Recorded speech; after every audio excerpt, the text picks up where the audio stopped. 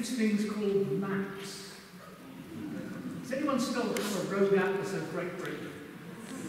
I've got one I can't find room for it in the car. Now, of course, we're all on to uh, things like Google Maps and SatNav and things like that. So I thought I'd read you a little poem tonight, which has been composed in the style of Pam Ayres, which means I've got to just change the language to West Country and uh. I have a little sat-nav. It sits there in my car. A sat-nav is a driver's friend. It tells you where you are. I have a little sat-nav. I've had it all my life.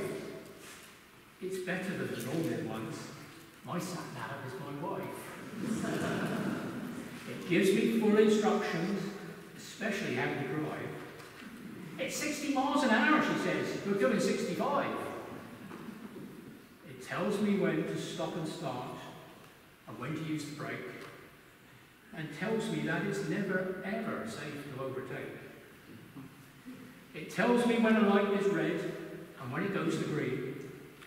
It seems to know instinctively just when to intervene. It lists the vehicles in the front and all those to the rear, and taking this into account, it specifies my gear.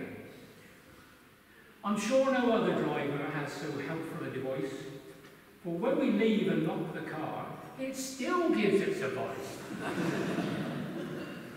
it fills me up with counselling, each journey's pretty fraught. So why don't I exchange it and get a quieter sort? Ah, well, you see, it cleans the house, makes sure I'm properly fed. Washes all my shirts and things, and keeps me warm in bed. Despite all these advantages and my tendency to scoff, I only wish that now and then I could turn the darn thing off.